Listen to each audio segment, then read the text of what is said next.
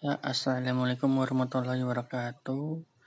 Kembali bersama Frandi Fram asal Lampung. Ya, di sini eh, kalian bisa melihat indukan lobster yang sedang bertelur kurang lebih ku sekitar 4 mingguan. Dan ini eh, hasilnya yang sudah turun burayak ya sekitar. Nah dan ini ada anakan lobster yang tiga hari sesudah turun dari indukan.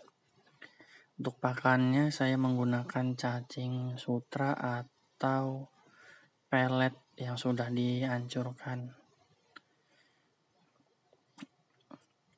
Ini anakan lobster kurang lebih sekitar dua mingguan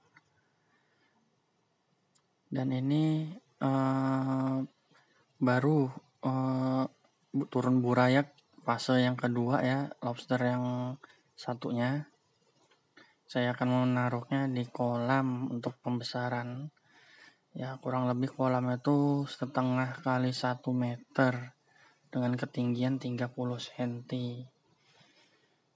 dan di sini saya memberi makan dengan ampas tahu, ampas tahu kadang cacing sutra dan kentang yang sudah direbus supaya uh, empuk dan mudah dimakan oleh burayak tersebut.